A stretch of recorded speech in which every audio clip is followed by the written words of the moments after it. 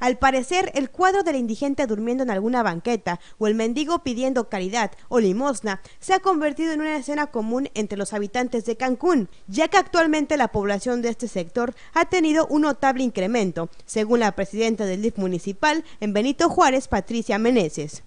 Ahora la población emigrante de, indigentes y mendigos se ha visto este, incrementada este mes precisamente porque acabamos de pasar también el periodo de vacaciones, porque acabamos de pasar un periodo en el cual este, vienen familias, nos visitan familias, se da mucho el acceso de, visita hacia, hacia nuestra ciudad.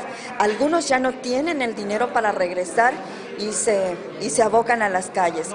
Por otra parte, los mendigos o limosneros trabajan con otra modalidad según la presidenta del DIF, ya que muchas veces en este fenómeno la familia se involucra directamente. Son las personas que inclusive las personas, las familias, sacan a los abuelitos, sacan a los niños menores de edad y tienen familia.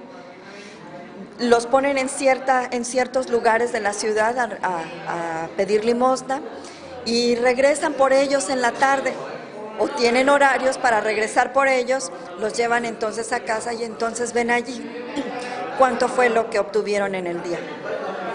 Esto sí ya es preocupante porque se vuelve ya una industria, ¿sí? Una industria de, de adquisitiva por último, Patricia Meneses mandó un exhorto a toda la población en general para no dar dinero a los mendigos e indigentes, pues si se pretende ayudar a este sector es mejor una comida o un cobertor, ya que el dinero que recaudan en muchas ocasiones es para sufragar algún vicio, ya sea propio o de alguien de la familia. En la cámara, Germán Espiridión. Para Notivisión, Linda Gual.